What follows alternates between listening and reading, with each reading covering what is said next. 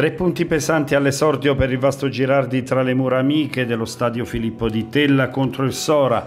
Successo con sofferenza nonostante i laziali restano in 10 per gran parte dei 90 minuti della gara per il rosso a Mastrantoni che affronta in modo scomposto Caon da ultimo uomo lanciato in porta. Primo tempo avaro di emozioni, ma buono l'impatto dei padroni di casa che si fanno notare con Caon che spreca dopo tre giri di lancette dinanzi la porta. Gli ospiti rispondono al sesto con Di Gilio a mettere in difficoltà la difesa giallo-blu, ma non succederà nulla.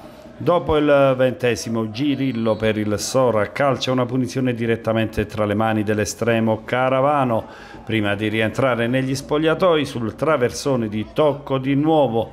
La punta Caon per i Molisani impatta il cuoio di testa ma la sfera termina al lato. Nella ripresa la prima vera emozione cade al minuto 12. Atterramento in area di Anton Giovanni. Si presenta sul dischetto del rigore Capitan Ruggieri. Dagli 11 metri la conclusione intercettata dai riflessi di Crispino.